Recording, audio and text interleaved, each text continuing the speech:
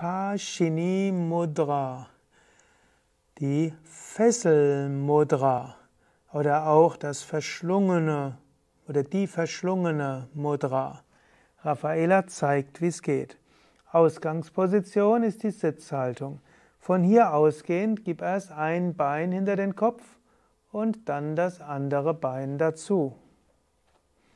Dann gib die Hände auf den Boden neben den Hüften und hebe das Becken hoch. Und so bist du in Pashini Mudra, Fesselmudra. Pashini ist alles, was mit Fessel zu tun hat und Mudra ist eine Stellung, die das feinstoffliche Prana aktiviert. Dieses Asana hilft, die Stärke der Arme zu kultivieren, ist sehr gut für die Flexibilität der Hüftgelenke wie auch der Kniegelenke.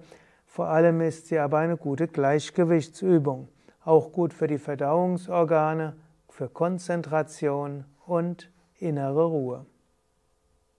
Mehr Infos über dieses und alle Asanas auf wiki.yoga-vidya.de